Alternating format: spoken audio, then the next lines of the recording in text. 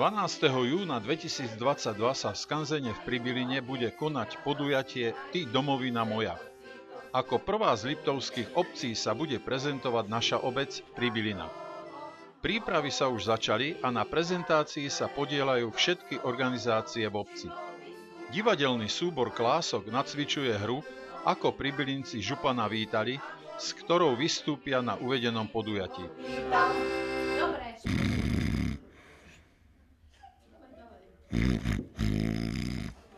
Slaniny, klobásy, chleba a dačo čím hrdlá prepláchneme.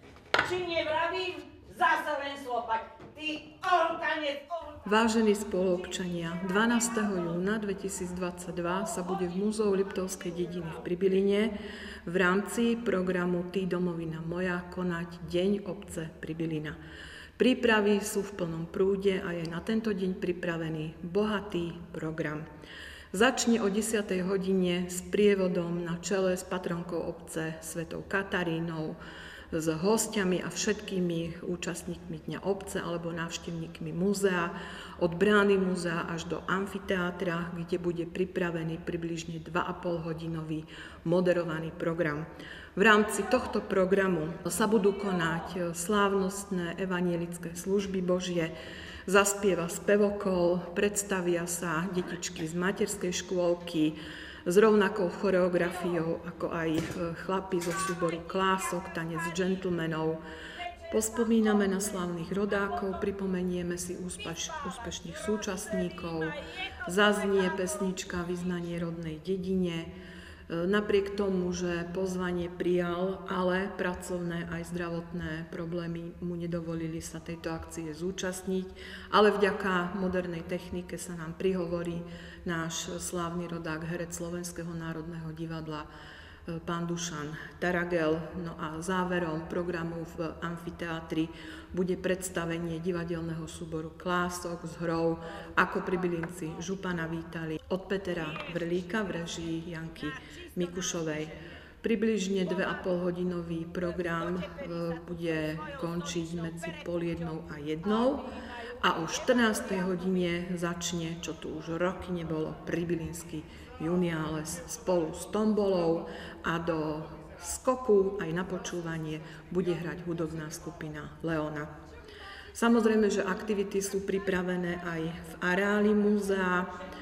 Touto cestou by som veľmi chcela poďakovať za ústretovosť a za úžasný prístup k tejto akcii členom klubu dôchodcov v Pribilíne, členom klubu pribilinských turistov a lyžiarov, ako aj našim hasičom, ktorí pripravili skvelé programy a naozaj sa máme na čo tešiť.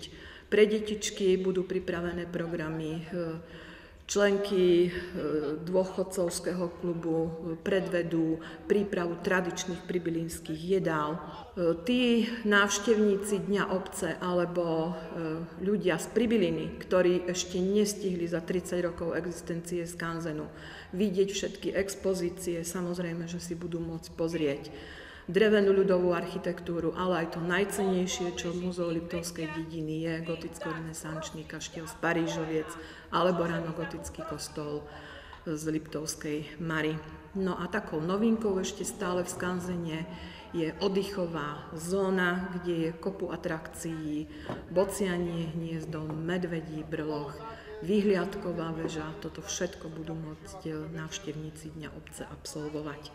No a ešte niečo zaujímavé, eh, bude vypravený Pribilinský expres.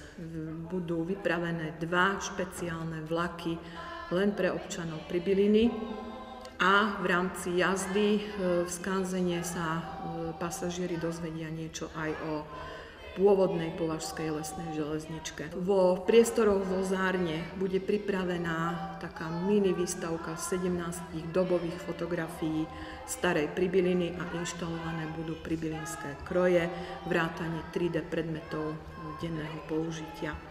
V priestoroch Kaštieľa e, budú premietané tri filmy. Jeden je e, prezentačný o Pribiline, e, ktorý urobil Mirko Števček a dva sú od eh, pána inžiniera Lubora Pača o doktorovi Jánovi Rumanovi a doktorovi Jánovi Lajčiakovi. No a samozrejme, že súčasťou celého podujatia bude aj Pribilinský jarmok. A tu by som sa ešte prihovorila tým, ktorým sa táto informácia nedostala do uší, alebo ešte váhajú, aby sa prihlásili e, ako remeselníci a prezentovali svoje výrobky. Takže program je bohatý, prezrádzať všetko nebudem, ale ešte raz vás srdečne pozývam 12. júna 2022 od 10. hodiny do areálu Múzea Liptovskej dediny v Pribiline na Deň obce Pribilina. Tešíme sa na vás.